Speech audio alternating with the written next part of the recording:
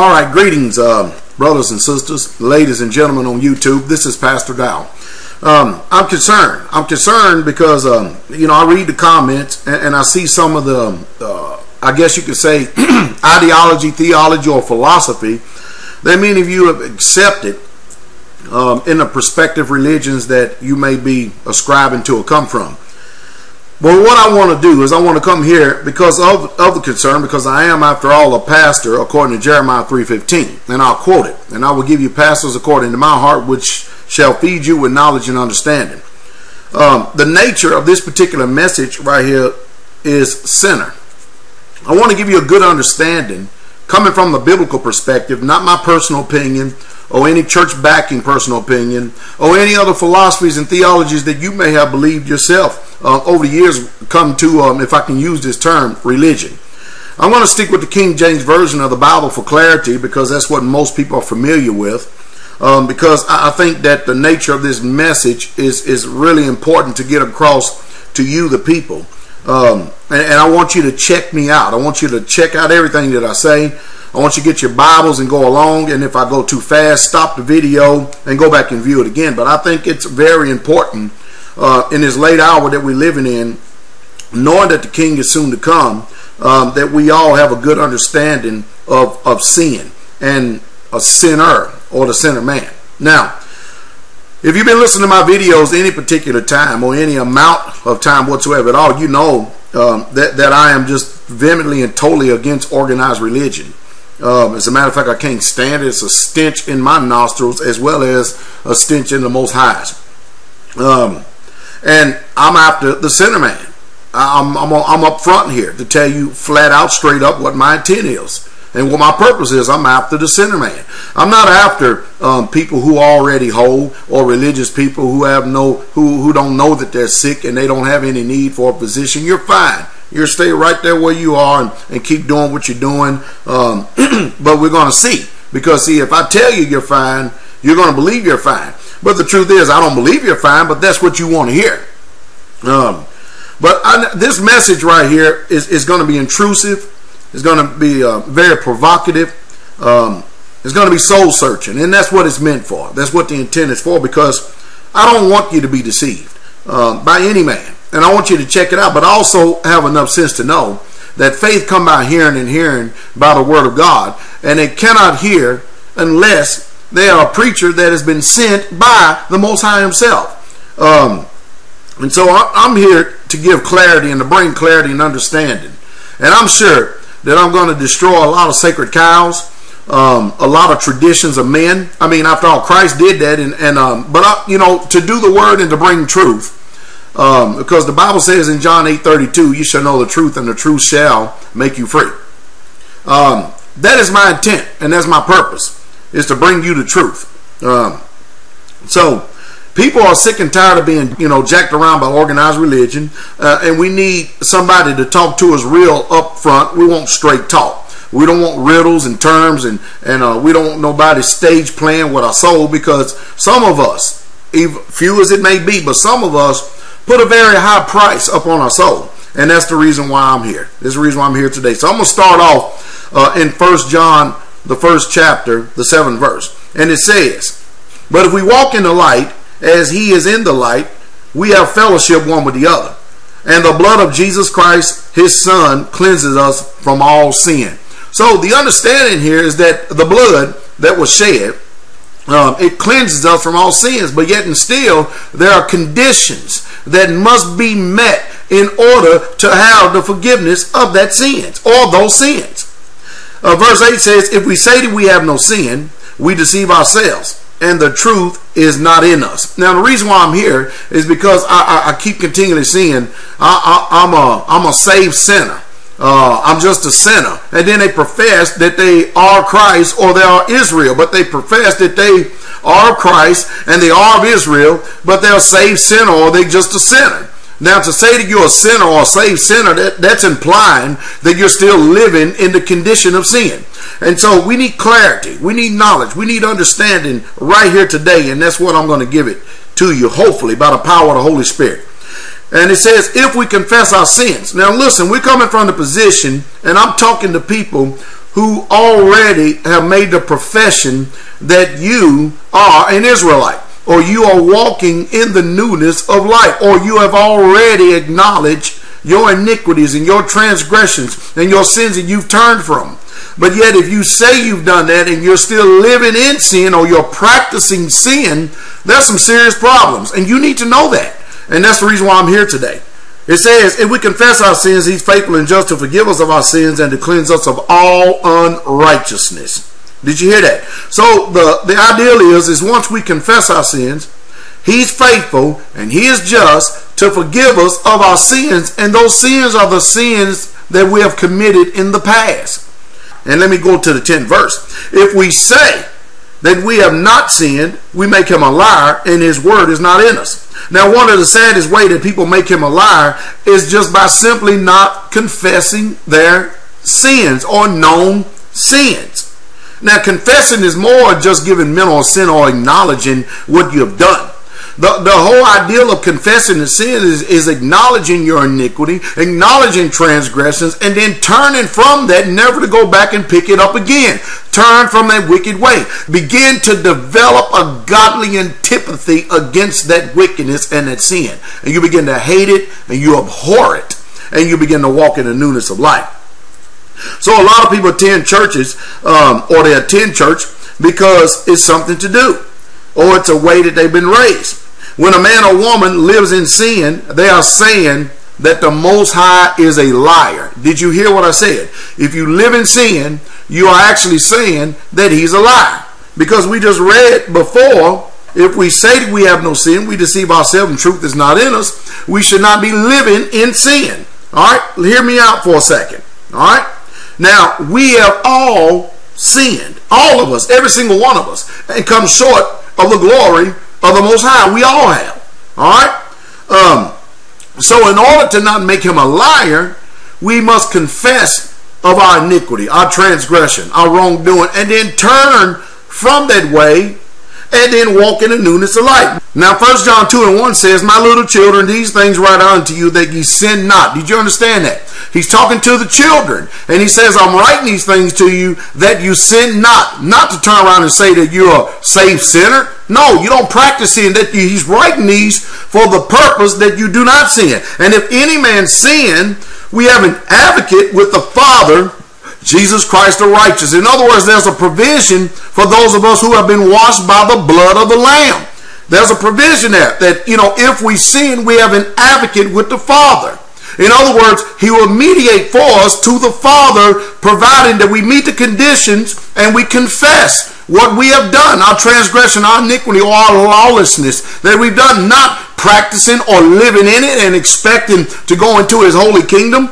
Uh, 1 John 3 4. Whosoever committed sin transgress also the law, for sin is a transgression of the law. That's why you have religions out here, philosophies out here that tries to desensitize your mind over and over again and deceive your mind to tell you that we're not under that law. We don't have to obey that law because they are tools of the enemy, tools of the Hasatan, Satan, to actually get you to be deceived, tricked, hoodwink, um, bamboozle you into iniquity and sin because uh, the, the Satan himself knows that, that the one who made the laws, the statutes and commandments is a righteous judge. So if he can deceive you by philosophy, tradition, religion, or any ideology or theology and get you to believe that you can continue in sin and live in sin uh, and think that you only have to confess one time and you're going to be saved, um, you're going to have a rude awakening when this breath goes out of your body.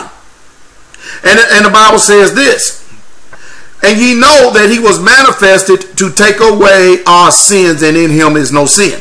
First John 3 8 says, He that committeth sin is of the devil. Did you hear that? So you cannot be a saved sinner. You, he didn't come to save you in your sins. He come to save you from your sins.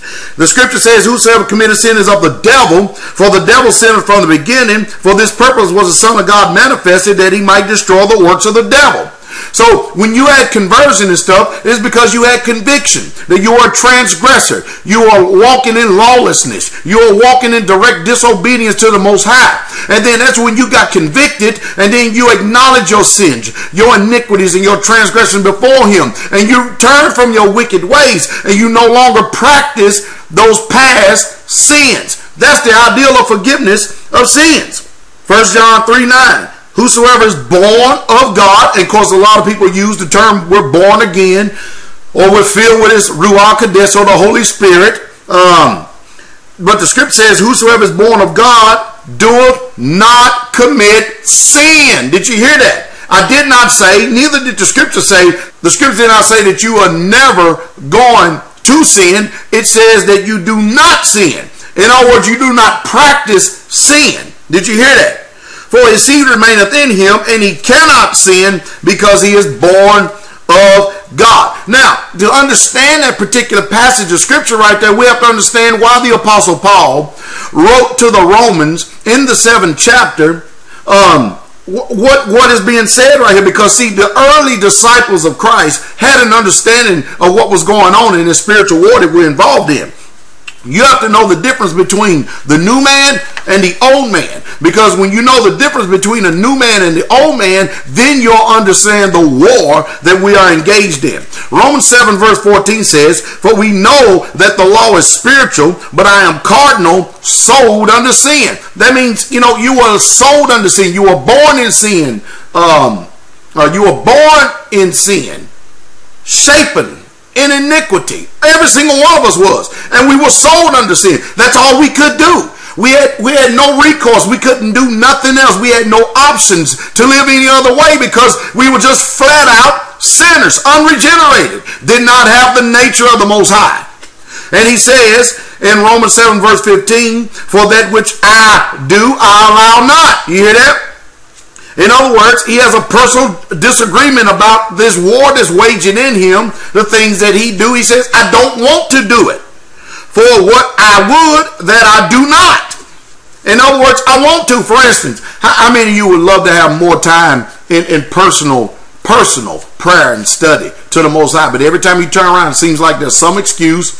Uh, by the time your feet hit the floor, there's something going on in your life to take away all your time and effort though, away from personal private study or dedication um, and your private prayer time to the Most High. Huh? That's the things you want to do. You want to study. You want to be more righteous. You you want to spend time. You want to grow in grace. You want to grow in knowledge. But it seems like it's always something coming up, whether it's your own flesh or some external uh, things that is distracting us constantly. Huh? He says, but what I hate, that I do. How many times you you you are, um, have confessed of a particular sin over and over and over again, but yet you acknowledge that it's sin. You're sick and tired of it. You're bound by it. You don't want to do it. You want to be free from it. You actually hate it. But then you find yourself doing it. You find yourself bound. You find yourself snared. And you seem like that no matter how hard you try, you just cannot seem to get free. You cannot, you don't have a, a way to get out. So Paul said this in, the, in Romans 7 verse 16. If then I do that which I would not, you hear that? In other words, if I do that which I would not, now my body is doing, but I don't want to. You hear that? I consider unto the law that it is good because that's what a transformation takes place at. Right here in the mind. Be ye not conformed to this world, but be ye transformed by the renewing of your mind. See, your mind is already fighting against this, huh? But but he's he's he's got some understanding for us here. Listen, he says, "Now then, it is no more I that do it, but sin that dwelleth in me." Where is that sin at? He said, "Sin that dwelleth in me. And see, as long as you're in institutions or in churches or assemblies out there that refuse to give you understanding on how to get free from sin that is dwelling on the inside of you, all right, you're going to continue to stay bound. You're going to continue to, to deal with guilt, shame, and condemnation because you don't understand the war that is taking place. You don't understand what's going on. Paul understands it clearly, and he's trying to speak to us. He's echoing, his words is echoing us from 2,000 years ago. He's trying his best to write it down in a letter to give us understanding that you have to understand that there's two natures, a dual nature within you. A nature that is good, a nature that is just, holy, true, and right, after you've been converted, and then there's a sinful nature or that evil that is constantly present with you that must be put to death continually. That's why he said, I die daily. So he acknowledged that it's no longer I. In other words, I'm in disagreement with this. I don't want to do this, but it is sin that dwelleth in me. Verse 18 of Romans, the seventh chapter. For I know that in me, that is in my flesh. You hear what he said? He didn't say in his spirit. He said in his flesh. And that's another thing that people don't understand about soul salvation. That's another thing that people don't understand. You see, because you are a spirit, you have a soul, you live in a body. Are you following me? So basically, you are a being that has a spirit, soul, and body that's working in you while yet you are just one. Do you understand that? Huh? So Paul knew what was the, what was going on, the difference between the spirit, the soul, and the body, man. He knew that. And his flesh consisted of the body or the old sinful nature that he was wrestling and warring with. And you know just as I do that Paul was converted. Because the book of Acts teach us clearly that Paul was converted. And so if you've been converted, many of you, but yet you're still wrestling continually with no provisions of freedom. Wonder how in the world can I get free? And even though you've been converted, some of you are still worrying about the damnation of eternal lake of fire. The damnation of the eternal lake of fire because you're still sinning and you're secretly doing it, but you're scared to talk to somebody about it because if you do, the way that the church is now, full of gossipers and slanders and talebears, you feel that you might be thrown under the bus and nobody understands that, that, you, that, that there's something going on you don't want to do, but you're bound, you find yourself doing it. Because now you get all these religions out there. Oh, you can fast it out. Oh, you can starve it out. And no, you can't. You cannot fast the spirit out. You can't starve a spirit out. That's why it's called war. It's a spiritual warfare. Do you understand that? You understand that? For we wrestle not against flesh and blood, but against principalities and power. This is spiritual. Well, let's, anyway, let me go on because I don't want to get off course. I want to try my best to stay this course right here, right now. He said, For I know that is in me, that is in my flesh, dwelleth no good thing, for to will is present with me, but how to perform that which is good, I find not. He said, There's a will in me that wants to do good, but I, I, I, can't find it. And he says, For the good that I would, I do not, but the evil which I would not that I do. Paul said, I want to do good, but it seems like every time I turn around, I'm doing this evil. And I don't want to do the evil. I want to do the good. I don't want to do the evil, but I want to do the good. And that's the reason why many of you are, are deceived today into thinking that you're a saved sinner. And that's why you talk like that. See, if you believe wrong, you act wrong. And if you if you talk wrong, you're going to believe wrong.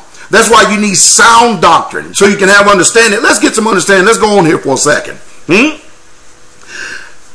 Romans chapter 7 verse 20. Now, if I do that I would not, it is no more I. You hear that? That do it, but sin that dwelleth in me. He's reiterating it again from verse 17. Where's the sin?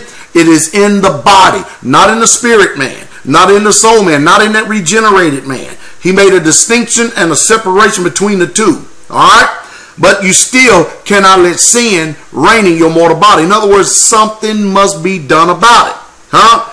For I find, I find then a law that when I would do good, evil was present with me. And then he says, For I delight in the law of God after the inward man. He's talking about the Holy Spirit filled man, the, the regenerated man. See, so after conversion, make no mistake about it, if you are truly a child of the king, your conversation will be just like the conversion of the early assembly that we read about in the book of Acts.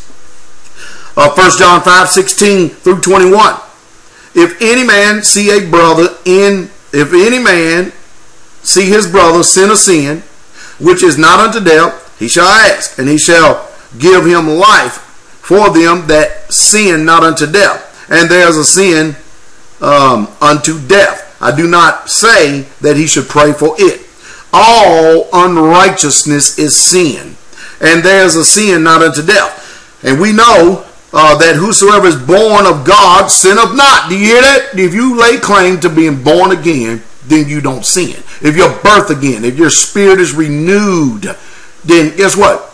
It clearly tells you right here, you sin not. But he that is begotten of God keepeth himself, that the wicked one toucheth him not. Yeah, you're supposed to keep yourself, and you should do that. Um, and we know that we are of God, and the whole world lieth in wickedness. And we know that the Son of God is come, and he have given us an understanding that we may know him that is true, and we are in him that is true, even in his Son, Jesus Christ. This is the true God and eternal life. Little children, keep yourselves from idols. Amen. And those crosses you wear around your necks, they're idols. You have posted up in your churches, they're idols. Uh, he told us clearly, don't make um, idols of wood, hay, and stone. You got uh, idols of all in your homes and everything. And, and, because of the culture that we're surrounded, we're surrounded by a, a Greco-Roman, Greek, European culture that is inundated and influenced with idolatry. And these churches that some of you go to, it has nothing but idols all over the place and stuff. And so when you, you know, when you become desensitized to the Most High, if you don't know the Word, and you just think it's an accepted form of worship, but it's idolatry. Now, sin not in Psalms 4 4 it says, stand in awe and sin not. Commune with your own heart upon your bed and be still, Selah. Psalms 32 verse 1. Um, Blessed is he who transgression is forgiven, whose sin is covered. Psalms 32 verse 5. This is what David said. I acknowledge my sin unto thee. You see, that's the problem with many of us today is that we really truly have not acknowledged our sin. That's why we haven't been free from it. Huh? And my iniquity have I not hid? I said, I will confess my transgressions unto the Lord that thou forgavest the iniquity of my sin, Selah.